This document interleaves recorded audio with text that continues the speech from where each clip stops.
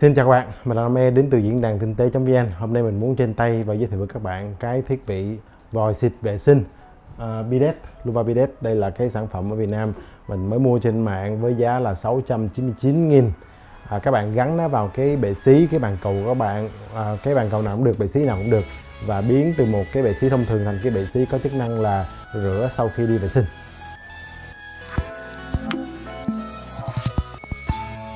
Thực ra với mức sống hiện nay của người Việt Nam thì đã có rất nhiều gia đình họ mua sẵn những cái bệ xí những bồn cầu cái tích hợp hệ sẵn cái hệ thống rửa và sấy tùm lum tùm la.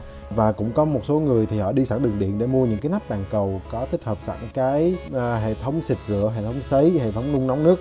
Vì sao nhà mình là không làm như vậy? Có nhiều lý do. Một lý do là đây là cái nhà của ba mẹ mình và mình chưa có nhà, mình ở ké thôi. Lý do thứ hai là hồi xưa ba mẹ mình không cố gắng bởi vì ba mẹ mình không biết trên đời có mấy cái thứ này. Đây là cái Luvabidet cái hệ thống xịt rửa không có cần điện. Các bạn à, chỉ việc gắn nó vào thôi và nó sử dụng áp lực nước thông thường của cái hệ thống nước của các bạn để phun ra để xịt rửa cho các bạn.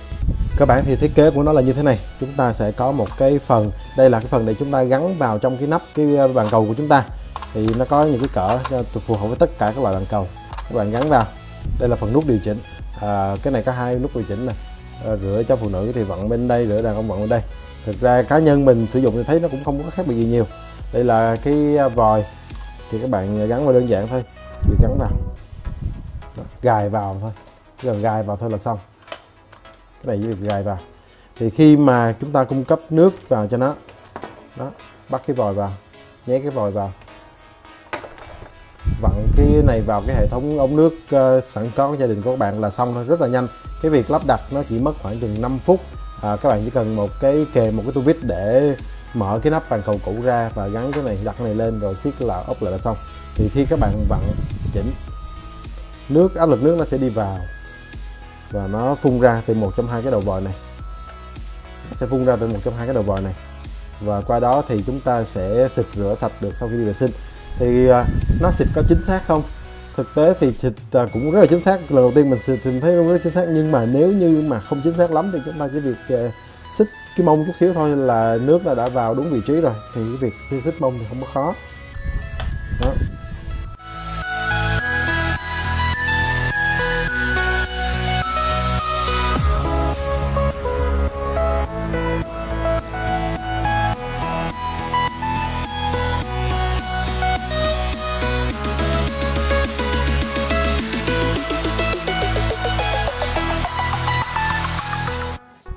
Nhìn chung mình thấy hoàn thiện của cái này ở mức trung bình. Ở mức trung bình có một số chi tiết nhỏ nhựa nó dư ra ở đây cũng không đáng kể lắm. À, việc lắp ráp thì rất là nhanh rất là đơn giản. Và cái này thì ưu điểm của nó là nó không có dùng điện cho nên là chẳng có lo ngại gì là bị điện giật hay là trong quá trình sử dụng đó có những cái gì đáng tiếc xảy ra. Thì bởi vì tất cả những cái nó dùng chỉ là áp lực nước của hệ thống hiện nước hiện đang có của các bạn thôi à, cái hệ thống này có ưu điểm là ai cũng sử dụng được. À, sau khi mình gắn vào thì con 4 tuổi của mình đi vệ sinh xong cũng tự xịt rửa được luôn. Không cần mình phải làm giúp cho nó nữa. Hồi xưa thì mình phải vào mình xịt rửa giúp bằng cái cái bồ đồ bóp bóp. Bây giờ thì cái này tự nó bạn qua nó rửa vệ sinh luôn. Hoặc là nhà có người lớn tuổi cũng có thể tự vệ sinh được mà không cần nhờ người giúp nữa. À, đó là ưu điểm. À, nhược điểm của cái vệ sinh mà không dùng điện là gì? Là nó chỉ có một chức năng thôi là xịt rửa thôi nó không có sấy khô nó không có ví dụ như là làm ấm cái phần ghế ngồi khi vào mùa đông đến. À, và nó cũng chẳng làm nóng nước lên được nữa. Luva họ cũng có làm cái loại mà có xịt ra đường nước nóng thì các bạn phải cung cấp hai đường vào là đường nước lạnh và đường nước nóng. Mình thì không có mua cái đó tại trong mình ở trong miền Nam thì à, cũng chẳng cần xịt rượu nước nóng đâu. Các bạn người Bắc thì có thể cần.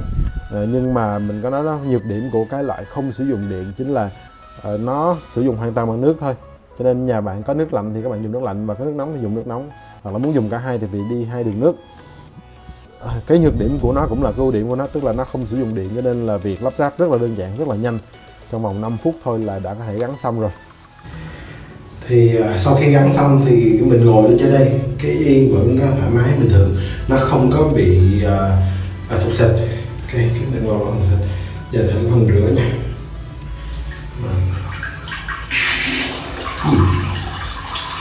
Ok. Khá ổn. Được đây là mình đang thử cái phần rửa à, phía sau. Sẵn tiện thử phần của phụ nữ xem. Uhm, phần của phụ nữ thấy à, xem vị trí.